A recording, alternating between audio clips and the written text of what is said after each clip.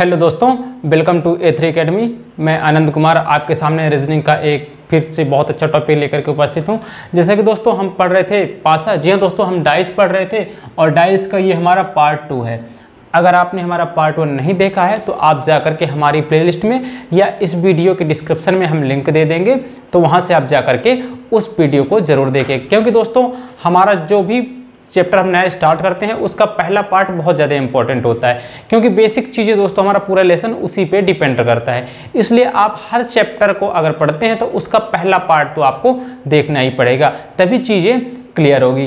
तो ये पासा का पहला पार्ट आप ज़रूर देखिएगा, उसके ये आगे का स्टेप है। तो पहले पार्ट में दोस्तों हमने देखा था, आपके सामने कुछ डाइस दे देंगे और उसमें हमने देखा था तीन प्रकार के प्रश्न पूछे जाते हैं। पहला प्रश्न था वहाँ पे सामान्य पासे पर आधारित, दूसरा था आप देखोगे जो मानक पासा पर था, उस पर आधारित था और तीसरा था खुला फांसा जो बेसिकली आज हम पढ़ेंगे दोस्तों पार्ट टू में हम पढ़ेंगे खुले फांसे में। लेकिन उसके पहले हम थोड़ा सा रिवीजन कर लेते हैं। तो सबसे पहले दोस्तों देखिए, आपके सामने एक प्रश्न है, इस टाइप के हम अपने पहले वीडियो में पढ़ चुके हैं। तो देखिए, पहला क्वेश्चन आपके सामने है, चार के विपरीत पर कौन सा अंक होगा? ये आपके सामने एक पासा दे दिया जाएगा।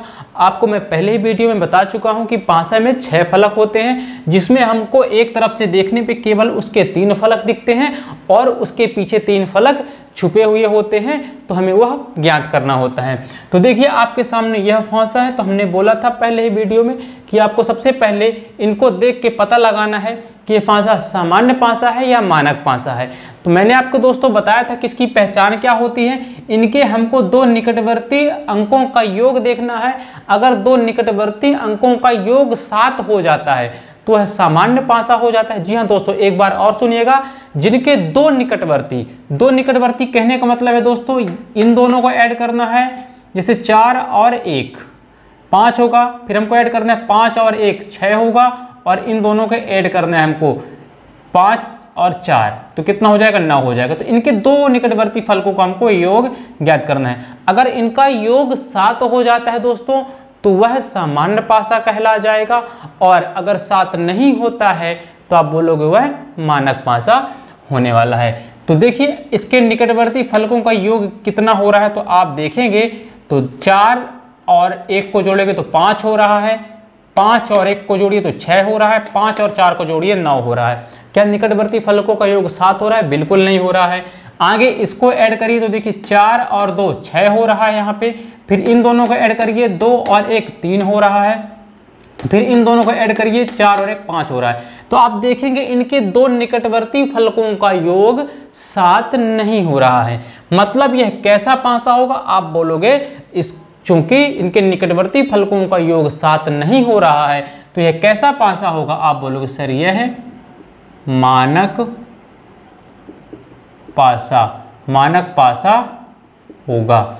अब देखिए, हमने बोला था जो मानक पासा होता है, उनके विपरीत अंकों का योग हमेशा कितना होता है? सात होता है। तो दोस्तों, यहाँ पे चार के विपरीत पूछा है तो चार में आप कितना ऐड करोगे कि सात होगा? तो आप आत्मोत के बता दोगे, सर, चार में हम तीन ऐड करेंगे तो सात हो जाएगा। तो आप देखिए, चार का विपरीत क्या होगा? हमेशा चार का विपरीत तीन होगा, क्योंकि इनका योग विपरीत का हमेशा क्या होता है? सात होता है। अगर छः का पूछता तो आप बताते हो, हमेशा मानक पांसा में छः का विपरीत एक होता है, पाँच का विपरीत दो होता है, चार का विपरीत तीन होता है, तीन का विपरीत चार होता है, दो का विपरीत पाँच होता है और एक का विपरीत छः होता है। आप देखेंगे कि इनका सबका योग कितना होगा? इनका सबका योग सात होगा। आप ऐड कर लीजिए, इनका सबका योग सात होने वाला है। तो आप देखोगे, हमको सबसे पहले देखना है मानक पासा है या सामान्य पासा तुम कैसे पहचानेंगे इनके अगर दो निकटवर्ती फलकों का योग सात नहीं है तो वह क्या होगा? मानक पासा निकटवर्ती फलकों का योग सात नहीं होगा। याद रखिएगा, सात नहीं होगा। और उसके बाद दूसरा प्रश्न हम इसीलिए उठाए हैं, दोस्तों, यहाँ पर भी पूछा चार के विपरीत। अब अगर आप रट के गए क्या रट के गए? कि हमेशा इनके फलकों का योग सात होता है। तो आप देखोगे चार और चार के विपरीत आप क्या लगा के चले जाओगे? चार के विपरीत। अगर इसमें चार ऑप्शन दिया होता है यहाँ पे दे दिया तो होता चार की जगह, मान लीजिए पाँच की जगह तीन। तो आप क्या लगा के चले आते? तो चार के विपरीत आप तीन लगा करके चले आते। लेकिन यहाँ पे हमको देखना पड़ेगा, सबसे पहले चेक करेंगे मानक पासा या सामान्य पासा। तो इनके दो फलकों का हम पहले योग देखेंगे। देखिए, चार और पाँच, नौ, क्या सात हुआ? नहीं हुआ। आगे देखिए, पाँच और तीन, आठ, ये भी नहीं हुआ। आगे देखिए, चार और तीन, सात, देखिए, चार प्लस तीन, सात हो गया। हमको राउंड में सभी को दो दो करके देखना है। तो सबसे पहले हम क्या देखें? सबसे पहले चार प्लस पाँच देखें। फिर उसके बाद चार प्लस पाँच, फिर क्या देखिए, पाँच प्लस तीन हमने देखा, पाँच प्लस तीन देखा, उसके बाद देखिए तीन प्लस चार, तीन प्लस चार। तो देखिए इसका योग कितना हो गया? सात हो गया। मतलब जैसे ही इनके दो निकटवर्ती फलकों का योग सात होगा, वह कैसा पासा कहला जाएगा? आप बोलोगे, सर, वह है सामान्य पासा कहला जाएगा। और सामान्य पासा में ज़रूरी नहीं है कि चार के विपरीत तीन ही हो। चार के विपरीत एक भी हो सकता है, दो भी हो सकता है, तीन भी हो सकता है, पाँच भी हो सकता है, छह भी हो सकता है, कुछ भी हो सकता है, क्योंकि यह सामान्य पासा है। मानक पासा में यह तो मान्यता है। मानक मतलब मान्यता है कि हमेशा निकटवर्ती फलकों का योग सात होगा। तो हमको इसको दोस्तों निकालना पड़ेगा। और निकालने के लिए हमने क्या बोला था कि सबसे पहले हमको इसमें से एक कॉमन अंक देखना पड़ेगा। तो इनमें कॉमन क्या होगा? हमने बोला, सर, यहाँ पे कॉमन हम तीन लेंगे। और जब कॉमन तीन लेंगे तो हम क्या करते थे? हम लिखेंगे यहाँ पे तीन, फिर इसको क्लॉक डायरेक्शन में घुमा देंगे। तीन के बाद क्या है? आप बोलोगे, सर, चार है। चार के बाद क्या है? पाँच। हमने लिख लिया। फिर इसको पाँच को पकड़िए, तीन के नीचे क्या आ जाएगा? तीन। फिर इसको भी क्लॉक वाइज घुमाइए। तीन के बाद क्या आने वाला है? एक। और एक के बाद क्या आने वाला है, दोस्तों? एक के बाद क्या आने वाला है? पाँच। अब आप देखेंगे कि यहाँ पे दो फलक हैं, देखिए, पाँच और तीन, पाँच और तीन। यहाँ पे दो शब्द कॉमन है। देखिए, दो शब्द, तीन भी कॉमन है, पाँच भी कॉमन है। तो यहाँ पे हमने क्या बोला था, जब दो फलक आपस में कॉमन होंगे तो हमेशा पाँचे दो हैं तो वो विपरीत अंक यही कहलाएँगे। जहाँ पे दो अंक कॉमन होते हैं और पाँचे दो रहते हैं तो हमेशा जो एक अंक यहाँ पे दिया हुआ है और एक अंक यहाँ पे दिया होगा, ये हमेशा क्या कहलाएँगे? हमेशा विपरीत अंक कहलाएँगे। तो देखिए, यहाँ पे चार के विपरीत क्या है? आप देखोगे चार के विपरीत क्या है? चार के विपरीत एक है। ऑप्शन नंबर ए लगा के चले आएँगे। तो ये सारी चीज़ें कॉन्सेप्ट हम पहले पार्ट में पढ़ चुके हैं। आप वहाँ जा करके देख लीजिएगा। अब चलते हैं हम आज का जो हमारा मेन टॉपिक है, खुले फांसी पे हम देखेंगे। पार्ट टू में क्या देखने वाले हैं हम? खुले फांसी पर आधारित प्रश्न। अब देखिए पेपर में लेटेस्ट ट्रेंड में क्या पूछा है? फांसा अभी तक बंद देता था, अब पांसे में क्या कर देता है? दोस्तों पांसे को खोल देता है। और खोलने के बाद पूछ लेता है कि बताइए विपरीत अंक क्या होगा तो बच्चे थोड़ा सा कंफ्यूज हो जाते हैं। तो देखिए कैसे थोड़ा सा एग्ज़ाम्पल समझिएगा। आपके सामने एक ऐसा ओपन फांसा दे देता है, देखिए। कुछ ऐसे पांसा दे देगा।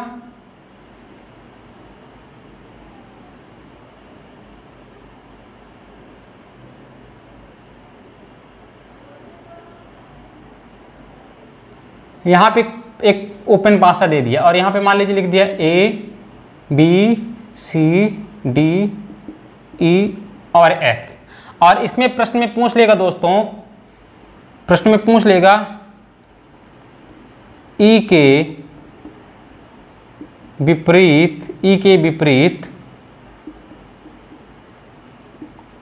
कौन सा अक्षर होगा? आपसे प्रश्न पूछ लिया। दे देगा दोस्तों, आपके सामने ऑप्शन दे देगा। Option number A option number B option number C option number D ठीक है? यहाँ पे ए बी सी डी नहीं लिखते, एक, दो लिख देते हैं। ऑप्शन नंबर एक, दो, तीन और चार। देखिए ऑप्शन नंबर एक में दे देगा आपके सामने ए ऑप्शन नंबर दो में दे देगा आपके सामने बी ऑप्शन नंबर तीन में दे देगा आपके सामने सी और ऑप्शन नंबर चार में दे देगा आपके सामने डी ऐसे प्रश्न पूछ लेगा दोस्तों तो आप बताइए कैसे करोगे? तो एक चीज़ आपको याद रखना है, हमेशा इसको हम कैसे सॉल्व करते हैं? तो एक अंक जोड़, छोड़ के हम हमेशा जोड़ा बनाते हैं। तो देखिए बी का होगा डी के साथ जोड़ा, हमेशा देखिए सी का होगा ई e के साथ जोड़ा, और ये बाहर वाले का हमेशा इसके साथ जोड़ा होने वाला है। याद रखिएगा, एक अंक छोड़ के बनाना है। बी का हमेशा ऊपर वाले का एक अंक हमको छोड़ देना क्योंकि निकटवर्ती कभी साथ में नहीं होते। ठीक है ना? तो आपको याद रखना है। हमेशा क्या होगा? सी ई e के साथ जोड़ा बनेगा। एफ़ का ए के साथ बाहर वाले का और बी का एक अंक छोड़ के। तो क्या देखिए बी के निकट एफ़ है, बिल्कुल नहीं है।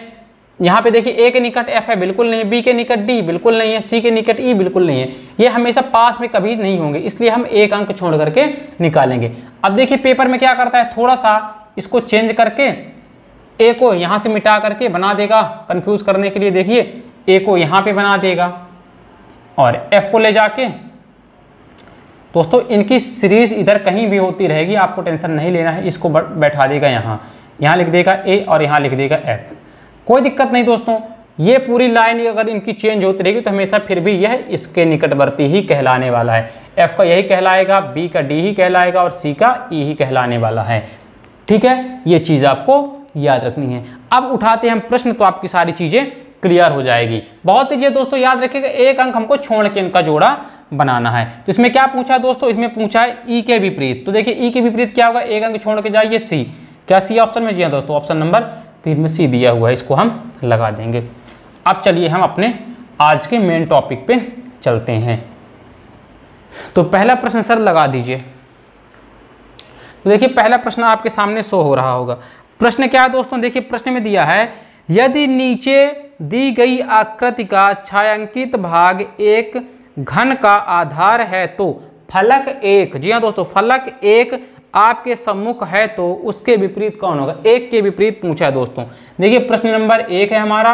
इसमें कुछ इस तरह का खुला हुआ फांसा दिया हुआ दोस्तों। बहुत अच्छे तरीके से देखिएगा।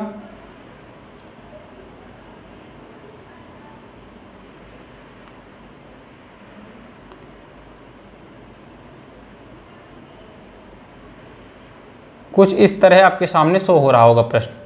यहाँ पे अंक लिखे हैं दोस्तों, तीन, चार, एक, पाँच और दो।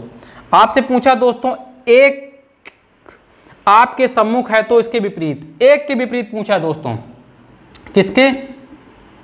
एक के विपरीत। एक के विपरीत कौन सा अंक होगा? तो बिल्कुल आप आँख मूद के आप बता सकते हो, एक अंक हमको छोड़ना है तो एक के विपरीत क्या होगा? ये होगा। ठीक है ना? और आप बोलोगे चार के विपरीत क्या होगा? पाँच होगा। और तीन के विपरीत क्या होगा? तीन के विपरीत दो होगा। लेकिन प्रश्न में किसके पूछा दोस्तों? एक के विपरीत पूछा है। तो एक के विपरीत क्या है? आप बोलोगे, सर, एक के विपरीत क्या है? चार है। क्या ऑप्शन में चार है? जी हाँ दोस्तों, ऑप्शन नंबर सी, पहले का option number C is correct answer. बहुत ईजी है दोस्तों, बहुत ईजी है। आप देखिए तो एक बार। चलिए, अगर आपको हमारा वीडियो पसंद आ रहा है तो आप वीडियो को सब्सक्राइब करिए, लाइक करिए और अपने दोस्तों को शेयर करिए। अब चलते हैं हम अपने अगले प्रश्न की ओर। प्रश्न नंबर दो, सर लगा दीजिए। देखिए, प्रश्न नंबर दो आपके सामने उपस्थित हो गया होगा, प्रश्न नंबर दो। प्रश्न नंबर दो में क्या दिया है? यदि नीचे दी गई व्यवस्था में से एक घन बनाया जाए तो पाँच बिंदु वाले फलक के सामने कितने बिंदु वाला फलक होगा? पाँच बिंदु वाले। दोस्तों, देखिए, आपके सामने कुछ इस तरह का चित्र बना हुआ है, बहुत अच्छे तरीके से देखिएगा। एक, ये चार हैं और इसमें बिंदु दिए हैं दोस्तों। पहले वाले में ये चार बिंदु हैं, दूसरे वाले में देखिए छः बिंदु हैं, तीसरे वाले में एक बिंदु है, चौथे वाले में दो बिंदु हैं, इधर पाँच बिंदु हैं बिंदुओं की जगह हम अंक भी लिख सकते हैं। और यहाँ पे आप देखेंगे यहाँ पे कितने बिंदु हैं? यहाँ पे तीन बिंदु हैं। आपसे पूछा दोस्तों, पाँच बिंदु वाले, किसके? पाँच के विपरीत। पाँच बिंदु वाले, पाँच के विपरीत। पाँच के विपरीत क्या है? तो मैंने क्या बोला था दोस्तों, हमको एक अंक छोड़ के बनाना है। तो हम क्या बोलेंगे? चार के विपरीत। तो एक होगा और यहाँ छह के विपरीत क्या होने वाला है? दो होने वाला है और बाहर वाले का हमेशा बाहर वाले से होता है। तो पाँच के विपरीत क्या होने वाला है? आप बोलोगे पाँच के विपरीत तीन होने वाला है। क्या ऑप्शन में तीन है? जी हाँ दोस्तों option number C is correct answer option number C is correct answer बहुत ईजी है दोस्तों, देखिए, बहुत ईजी है। अगर आपको ये नहीं पढ़े थे तो दिक्कत होने वाली थी, लेकिन अब आप ये क्वेश्चन गलत नहीं करने वाले हो। अब चलते हैं हम अपने अगले प्रश्न की ओर। प्रश्न नंबर तीन। सर, लगा दीजिए प्रश्न नंबर तीन। देखिए प्रश्न नंबर तीन जब तक पढ़िए। ये छोटा सा टॉपिक है दोस्तों, लेकिन क्वेश्चन आते हैं। आज का वीडियो करीब 20-25 मिनट का ही जाएगा। देखिए, यदि नीचे दी गई व्यवस्था में से एक घन बनाया जाए तो तीन, दोस्तों, तीन बिंदु के, बिंदु वाले फलक के सामने कितने बिंदु वाला फलक आएगा? देखिए, बहुत अच्छे तरीके से देखिएगा। यहाँ पे कुछ इस तरह का, दोस्तों, दिया हुआ है फलक, देखिए।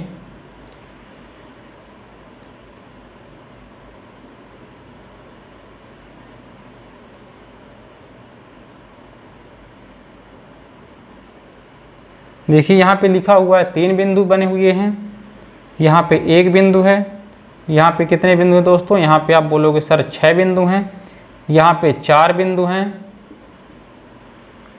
यहाँ पे दो बिंदु हैं और यहाँ पे पाँच बिंदु हैं। अब आप क्या बताओगे दोस्तों? बहुत अच्छे तरीके से आपको बताने हैं। देखिए, हमेशा आप देखेंगे इनमें से आपको कैसे सॉल्व करना है तो देखिए, हमेशा करीब निकटवर्ती नहीं होंगे। तो आप बोलोगे कि सर, इसका छः का पाँच होगा, दो का एक होगा और ये वाले का ये होगा। देखिए, पास में कभी नहीं होना चाहिए। तो आप बोलोगे, क्या पूछा दोस्तों? तीन बिंदु वाले के विपरीत। तीन बिंदु वाले के विपरीत क्या होगा? आप बोलोगे option number A is correct answer option number तीन बिंदु वाले के विपरीत क्या होगा? सॉरी तीन बिंदु वाले के विपरीत क्या है? तीन बिंदु वाले के विपरीत चार है। चार क्या ऑप्शन में है? जी हाँ दोस्तों option number B option number B is correct answer देखिए, तीन बिंदु वाले के सामने कौन सा होगा? चार। आपको देखना है, बस दो कभी पास पास नहीं होंगे। अगर आप या ले लेते तीन तीन कॉलम वाला को ले लेते और छह कॉलम वाले को। यहाँ से अगर आप सोच रहे होगे कि हम इन दोनों को ले लेते तो आप इन दोनों को भी ले सकते थे और इसको भी ले सकते थे और यहाँ से इसको भी ले सकते थे। बस आपको देखना है कि ये आपस में मिले नहीं। चलिए, आगे चलते हैं अगले प्रश्न की ओर। तो देखिए, प्रश्न नंबर चार, बहुत अच्छा प्रश्न है दोस्तों आपके सामने। प्रश्न नंबर चार। प्रश्न नंबर चार में देखिए, बहुत अच्छा प्रश्न है दोस्तों। आपके सामने कुछ ऐसा बना हुआ है।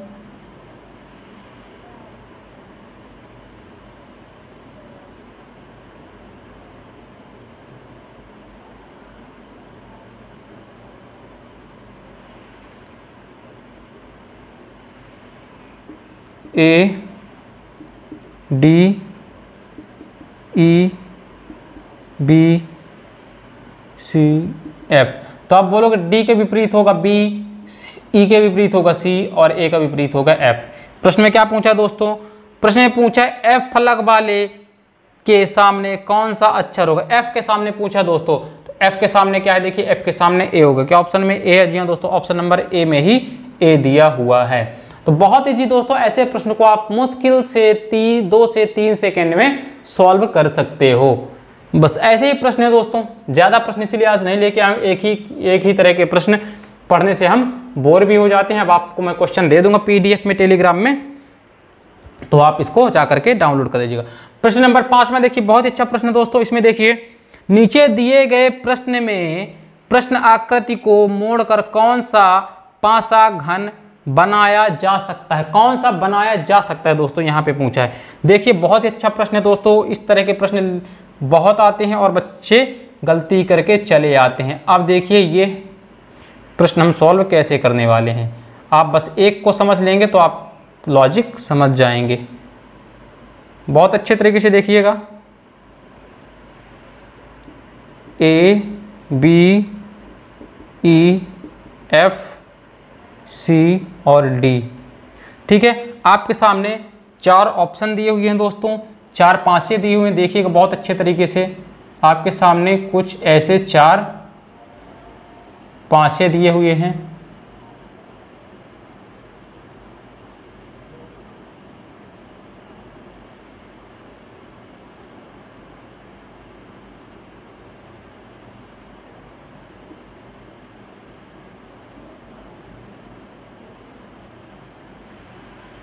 ये दोस्तों आपका ए ये है बी फिर सी और डी आपके सामने चार ऑप्शन दिए हुए हैं दोस्तों। यहाँ पे है एफ़ यहाँ पे है ई e, यहाँ पे है बी उसके बाद एफ़ डी और ई e. आगे देखिए। ई सी बी आगे देखिए। D A E e. अब देखिए प्रश्न को ऐसे सॉल्व कैसे करना है? तो आप देखोगे हमेशा बी के सामने क्या होने वाला है? एफ़ बी के विपरीत हमेशा एफ़ आने वाला है। मतलब अगर बी दिखेगा तो एफ़ नहीं दिखना चाहिए। आगे देखिए ई के विपरीत क्या होने वाला है? ई के विपरीत सी होने वाला है। मतलब अगर ई दिखेगा जहाँ पे, वहाँ पे सी नहीं दिखेगा, अगर सी दिखेगा तो ई नहीं दिखेगा। आगे देखिए ए के विपरीत क्या होने वाला है? ए के विपरीत डी होने वाला है। अगर डी दिखेगा तो ए नहीं दिखेगा और ए दिखेगा तो डी नहीं दिखेगा। तो आप देखोगे कि हमें, देखो इस प्रश्न में बहुत अच्छे तरीके से समझिएगा। बी के विपरीत क्या होने वाला है? आप देखोगे बी के विपरीत एफ़ होने वाला है। आगे देखिए ई के विपरीत क्या होने वाला है? बोलो सर ई के विपरीत होने वाला है। ई के विपरीत सी होने वाला है। आगे देखिए ए के विपरीत क्या होने वाला है? बोलो सर ए के विपरीत डी होने वाला है। मतलब अगर किसी कॉलम में बी है तो वहाँ पे एफ़ नहीं दिखेगा। अगर ई है तो सी नहीं दिखेगा। अगर ए है तो डी नहीं दिखेगा। ये चीज़ आपको याद रखनी है। तो अब इसी तरह आपको चेक करना है। देखिए एफ़ यहाँ पे एफ़ है मतलब बी नहीं होना चाहिए तो बी भी है देखिए, क्योंकि ये तो विपरीत है तो जब विपरीत है तो एफ़ के पीछे होगा मतलब बी नहीं दिखना चाहिए। तो देखिए, अगर यहाँ पे एफ़ है तो बी नहीं होना चाहिए, लेकिन बी है, इसलिए यह गलत हो जाएगा। दूसरा दूसरा ऑप्शन चेक करिए, अगर एफ़ है तो बी नहीं होना चाहिए तो ठीक है बी नहीं है बी नहीं है। आगे देखिए ई है तो मतलब ई है तो सी नहीं होना चाहिए ई है तो सी नहीं होना चाहिए, बिल्कुल नहीं है। अब आगे देखिए ए है डी है तो ए नहीं होना चाहिए मतलब यहाँ पे यह सही है। इसको भी चेक कर लीजिए। अगर ई है ई है तो सी नहीं होना चाहिए। तो देखिए, ई और सी दोनों है। अगर ई है तो सी यहाँ पे नहीं होना चाहिए तो यह भी गलत हो गया। इसमें देखिए, अगर डी है तो ए यहाँ पे नहीं होना चाहिए, क्योंकि एक तो डी तो ए के विपरीत है, इसलिए यह नहीं होगा। समझ गए बात को? अच्छे से समझिएगा, क्योंकि हमेशा देखिए विपरीत अंक हमें नहीं दिखते हैं। अगर बी दिखेगा तो एफ़ नहीं दिखेगा, क्योंकि बी एफ़ के विपरीत है। देखिए बी एफ़ के विपरीत है। इसी तरह अगर सी दिखेगा, हमें ई दिखेगा तो सी नहीं दिखेगा, क्योंकि ये दोनों एक दूसरे के विपरीत हैं। इसी तरह देखिए, अगर ए है तो डी नहीं दिखेगा डी है तो ए नहीं दिखेगा। यहाँ पे हमने कैसे गलत किया? देखिए एफ़ है ऊपर। तो मतलब एफ़ के विपरीत क्या है? बी तो बी एफ़ के पीछे होगा। पीछे होगा ना तो कैसे आगे दिखेगा? इसलिए यह तो गलत हो जाएगा, यह पासा नहीं बनेगा। दूसरा देखिए एफ़ है यहाँ पे तो एफ़ के विपरीत क्या है? बी तो बी नहीं दिखना चाहिए तो देखिए यहाँ पे नहीं दिख रहा। आगे देखिए ई e है तो ई e के विपरीत क्या है? सी है तो सी इसमें नहीं होना चाहिए तो क्या सी है? बिल्कुल नहीं है। आगे देखिए डी है। तो डी है यहाँ पे तो डी के विपरीत क्या है? ए है तो क्या ए इसमें है? नहीं है। इसलिए हमने इसको आंसर सही माना है। दूसरा देखिए, अगर यहाँ पे ई e है तो ई के विपरीत क्या है? देखिए ई के विपरीत सी है मतलब इसमें सी नहीं होना चाहिए, लेकिन सी है, इसलिए यह पासा नहीं बन सकता। आगे देखिए डी के विपरीत ए है मतलब यहाँ पे डी है तो इसमें ए नहीं होना चाहिए फिर, लेकिन ए हो गया है। इसलिए यह गलत है। अब देखिए, एक प्रश्न और देखेंगे तो आपको चीज़ें समझ में आ जाएगी। देखिए, प्रश्न नंबर छ प्रश्न नंबर छ देखिएगा। बहुत अच्छे तरीके से देखना है दोस्तों आपको।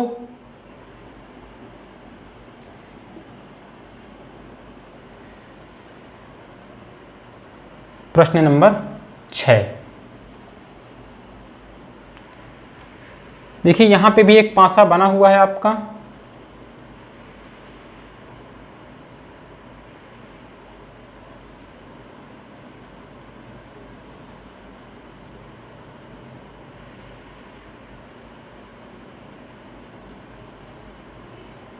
देखिए यहाँ पे लिखा हुआ है पाँच, यहाँ पे लिखा हुआ है चार, फिर लिखा हुआ दोस्तों एक, फिर दो, यहाँ पे छः और यहाँ पे तीन। यहाँ पे भी अंक हम मिटा लेते हैं।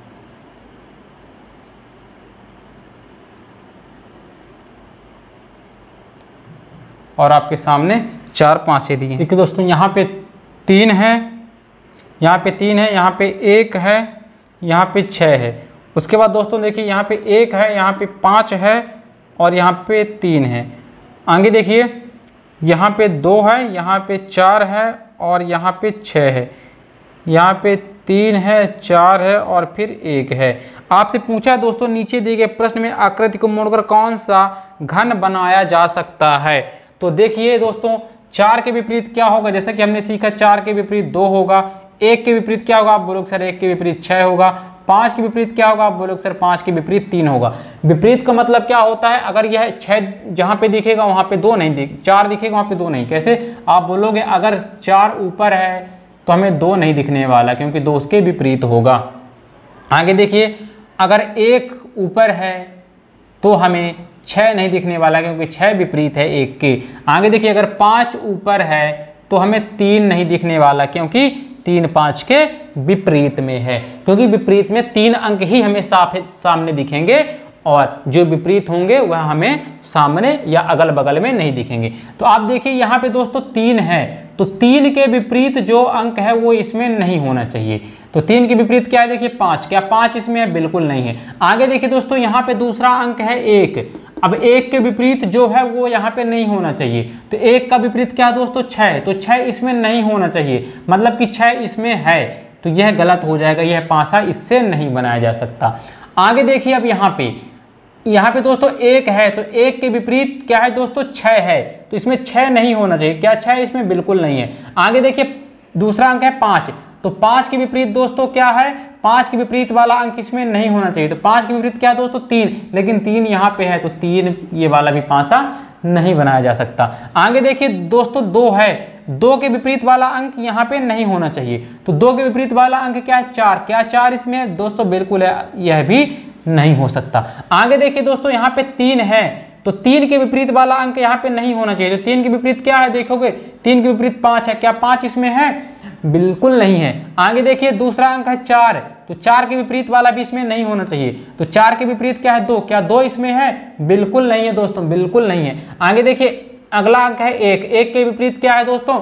छः है तो छः इसमें नहीं होना चाहिए। तो क्या छः इसमें है? नहीं है, बिल्कुल नहीं है। मतलब कि यह सही आंसर है। यह सही आंसर है। मतलब इसकी सहायता से ये वाला पासा बनाया जा सकता है, ये वाला पासा बनाया जा सकता है, बाकी ये वाले नहीं बनाए जा सकते हैं। क्लियर है? चलिए, अब चलते हैं हम अपने अगले प्रश्न की ओर। तो प्रश्न नंबर सात, सर लगा दीजिए प्रश्न नंबर सात। देखिए, प्रश्न नंबर सात आपके सामने आ गया होगा।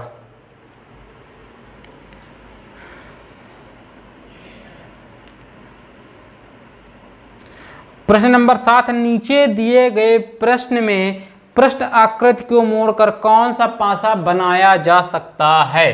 प्रश्न नंबर सात, दोस्तों, देखिए आपके सामने टी के यू, देखिए टी के ओ यू एम दिया हुआ है, दोस्तों, आपके सामने आपको बताना है।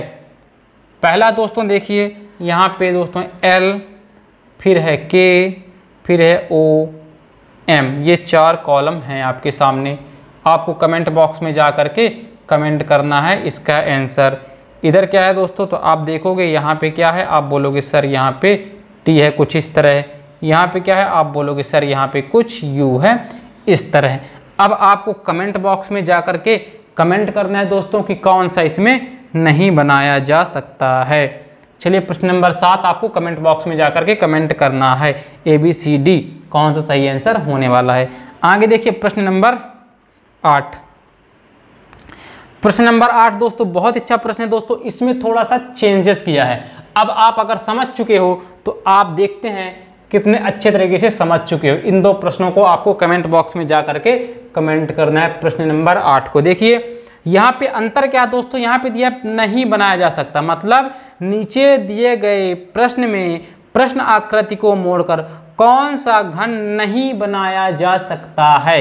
यहाँ पे नहीं बनाया जा सकता। तो जैसा भी कर रहे थे, उसके अपोजिट आपको करना है।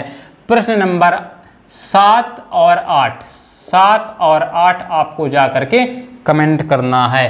तो यहाँ से आपका पासा हो गया कंप्लीट यहाँ से रीजनिंग स्पेशल में पासा का पार्ट भी होता है कंप्लीट अब हम अपने नेक्स्ट लेक्चर में पढ़ने वाले हैं दोस्तों, घड़ी के बारे में। जी हाँ दोस्तों, क्लॉक के बारे में भी हम पढ़ने वाले हैं।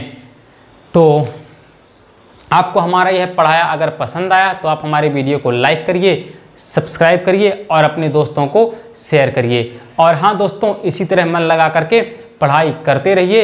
एक दिन ज़रूर आप कामयाब होंगे, क्योंकि हमारी मेहनत कभी व्यर्थ नहीं जाती है।